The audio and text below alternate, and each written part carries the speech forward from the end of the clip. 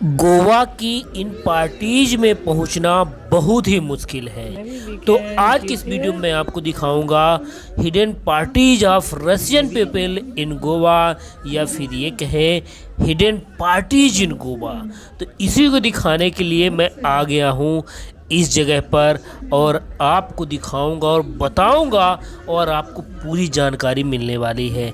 लेकिन वीडियो में आगे बढ़ने से पहले आपको बताना चाहता हूँ कि अगर आप जानना चाहते हैं famous places of north Goa क्योंकि ये जगह है नॉर्थ गोवा में visiting places of north Goa tourist places of north Goa Russian party places in Goa Russian parties in Goa Russian night life in Goa Russian night parties in Goa best night parties in Goa Russian secret parties in Goa तो मेरे channel पर बहुत सारे videos और ये भी video इसी से रिलेटेड है। तो चलिए आज का वीडियो शुरू करते हैं और आपको पूरा दिखाता हूँ ए टू जेड पोलर भी है.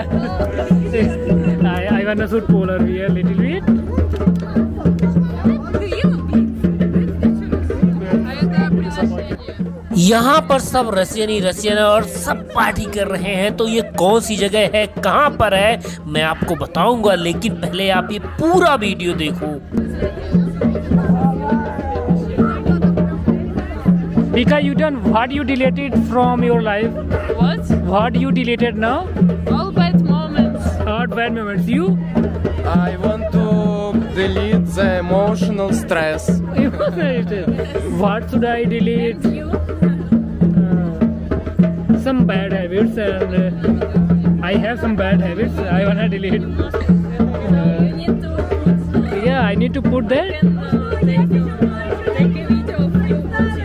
Uh, but there is no lights. I need lights. Uh, maybe. It, uh, Okay, let's uh, Pasha